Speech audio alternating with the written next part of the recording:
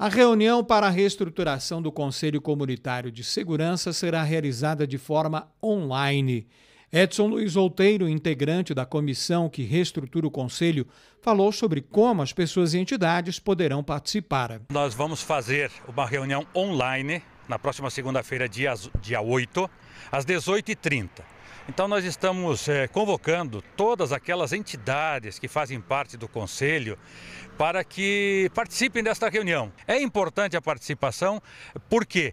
Porque o Consegue só vai funcionar se tiver realmente a participação e a representatividade de todos os segmentos sociais aqui de nossa cidade de Pato Branco. A comissão destaca ainda que o momento é muito importante para a cidade, que tem várias bandeiras urgentes no campo da segurança pública.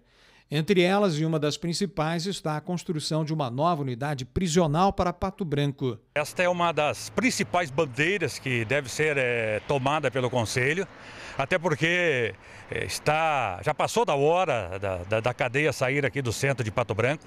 Nós, historicamente, eh, no nossa cidade, no nosso município, não tem um histórico de grande violência, mas nós não podemos esperar para que se chegue a este nível para depois é, tomar uma providência. Nós temos que nos antecipar, ser preventivos e é isso que o Conselho quer neste aspecto. Além de outros aspectos que nós temos aqui para auxiliar ah, as forças eh, policiais de nossa cidade, do nosso município, hum, atuando na questão de eh, ajudar na resolução dos problemas comunitários.